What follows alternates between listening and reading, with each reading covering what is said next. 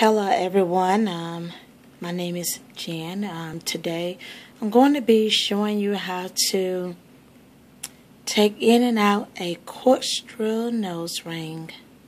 Um, first, you want to make sure it has been at least four weeks before you attempt to exchange um, them. The simple reason is because your nose are sensitive during this time period and um, it will be sore. Um, so that way you're allowing time for it to actually heal before you take it in and out. Um, it's really simple. Um, it's not as hard as um, people make it out to be. Once you do this effectively for at least two or three times, then you will find that it's easy and you won't even need a mirror to do it. Um, let me zoom in some. Then you want to make sure your hands are clean. Get a handle. And I'm pulling it out slowly if I can so that you can see what I'm doing. Slowly taking it out.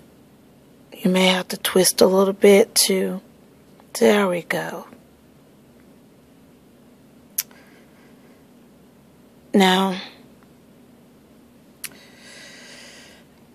so I'm going to put it back in.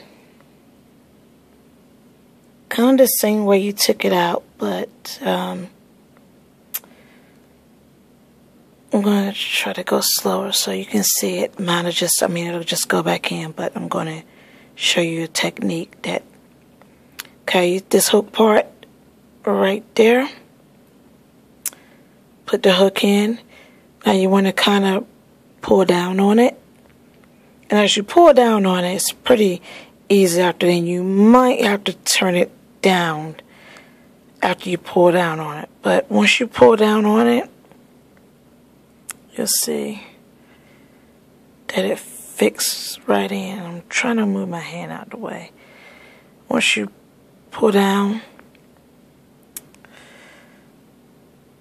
my hand is in the way. I'm going to get it out. So this is what it looks like.